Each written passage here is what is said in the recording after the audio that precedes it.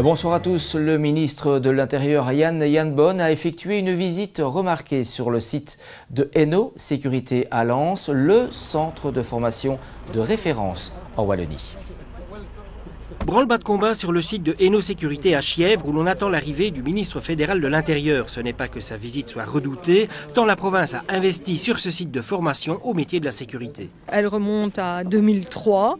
Mais depuis 2010, euh, on a vraiment réorienté euh, l'objectif de la régie provinciale autonome et nos sécurités avec un service beaucoup plus large, même au privé, en ce qui concerne la formation de l'ensemble des disciplines que sont la police, euh, les pompiers, les secouristes ambulanciers. On est de l'ordre de 4 500 000 euros investis jusqu'à présent.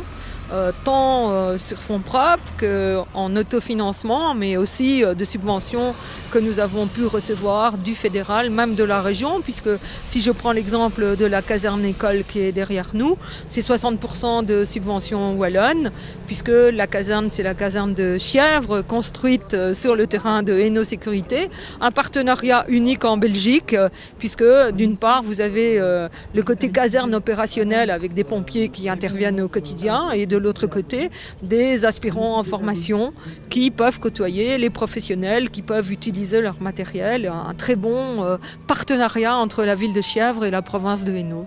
Et quitte à montrer l'efficacité des formations dispensées ici, rien ne vaut une petite démonstration sur le terrain avec le nouvel outil pédagogique pour former les pompiers à circonvenir un incendie dans une usine pétrochimique. On a voulu montrer une, facette, et encore c'est une, infime partie, mais vous voyez que c'est un outil pédagogique qui est en fait euh, qui a une performance il est dynamique.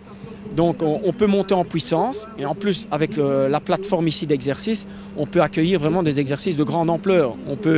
Quand on est dans une gestion de crise, on parle euh, de zone, le zonage, avec les surfaces, les hectares qui sont ici, là on est, dans la réalité.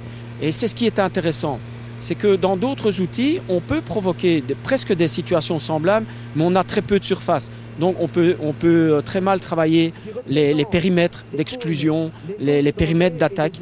Et donc c'est ce qu'on a ici. On a à la fois l'outil et l'infrastructure. Je suis euh, impressionné euh, par ce que j'ai vu ici. c'est une installation assez neuve et assez complète pour former nos, pompiers dans, des circonstances les plus difficiles qu'on peut imaginer. Donc oui, c'est impressionnant. On aimerait euh, encore accroître nos recettes euh, vis-à-vis du secteur public, puisque dans les entreprises, qu'elles soient chimiques ou pas, de toute façon, dans toutes les entreprises, on a besoin d'équipiers de première intervention et euh, nous avons la volonté de continuer à en former de plus en plus sur ce site et nos sécurités.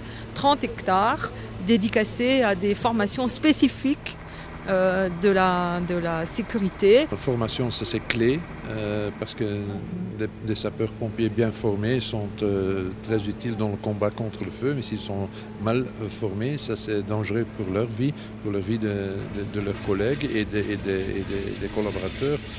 donc oui, ça, ça va dans le sens. Et aussi parce que je pense que les formations de base, ça on, doit prévoir partout, dans chaque province, mais les, formations spécialisées, c'est impossible d'avoir dans, chaque, euh, province des, formations spécialisées. Donc on va à un certain moment décider quelle école va, va donner ou quel site va donner quelle, euh, quelle formation spécialisée et je pense que l'investissement que l'ENO a fait ici, ça peut être très utile euh, pour soutenir cette vision.